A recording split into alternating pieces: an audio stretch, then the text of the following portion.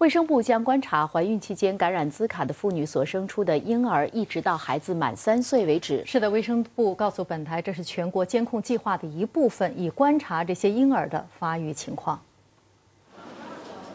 截至目前，本地并未出现同兹卡相关的小头症病例。然而，怀孕期间感染兹卡病毒的孕妇，可能生下患小头症婴儿的隐忧仍在。小头症是出生时的缺陷。症状是婴儿头部异常小，而且脑部受损。截至上个星期，本地有十七名孕妇证实感染兹卡病毒，其中三人已经分娩，婴儿都没有出现小头症的症状。医生会继续密切观察这些妇女和他们的婴儿。其中一名妇女流产，但原因同兹卡无关；两人终止妊娠，但没有证据显示胚胎受到兹卡感染。卫生部以病人隐私为由，没有进一步说明详情。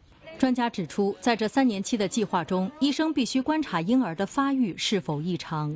Some of the things which we'll look at is when does she achieve gross motor foundations? When can he uh, stand and when can he pull himself up? You look at the speech.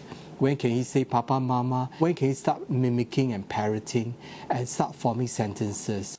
卫生部表示，兹卡个案会维持在低水平，而许多感染兹卡的人也不会出现症状。尽管如此，卫生部提醒国人，只要传播病毒的伊蚊还在，就不能掉以轻心。